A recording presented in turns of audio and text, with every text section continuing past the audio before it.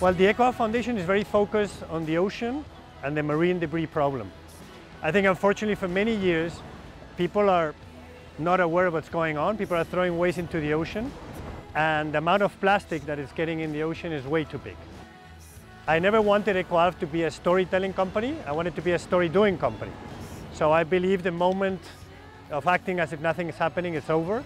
I think we really need to take action and I wanted EcoAlf to really, through the foundation, take action in real projects.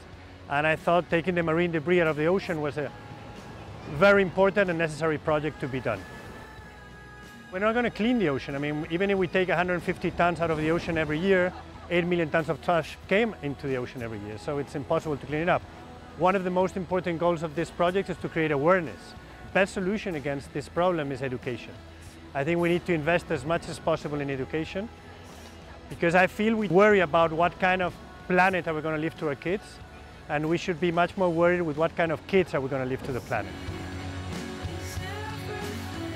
The EcoAlf Foundation is a non-for-profit organization whose main goal is to recover the trash. Currently, we are very focused on marine debris and on giving them a second life through circular economy. So we are looking for partners with the same value to set ambitious goals and we think that Kingspan is a leader in their sector to set this kind of goal together and to create an important alliance to really take action.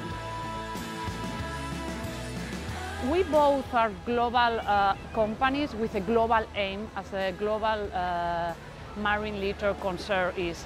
So we try to work step by step in circularity. We look for new materials to close uh, more the loop of the marine debris and uh, to also raise awareness, which is a, a, goal for both of us. So we think that together we can replicate the project because it's a global one to tackle a global problem.